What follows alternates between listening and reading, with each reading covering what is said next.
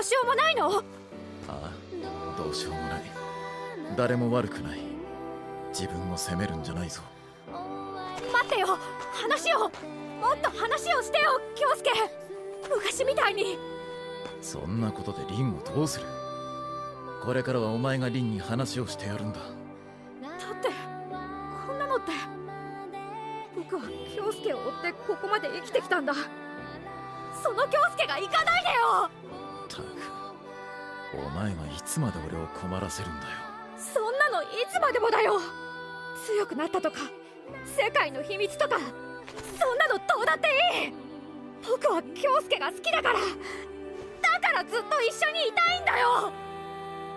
あのな。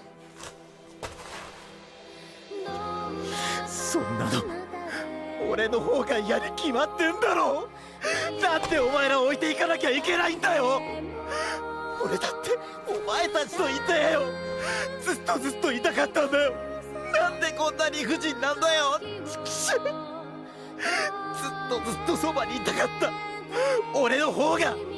ずっとずっとお前たちのことが好きなんだよ。なのにお前たちを置いていくなんて。そんなの。ねえよ。なんでだよ。わけわかんねえよ。さ言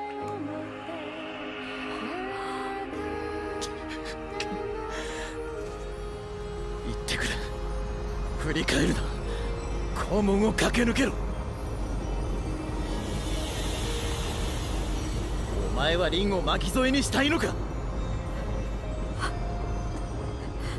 早く行け！もう迷うな！とっとと行け！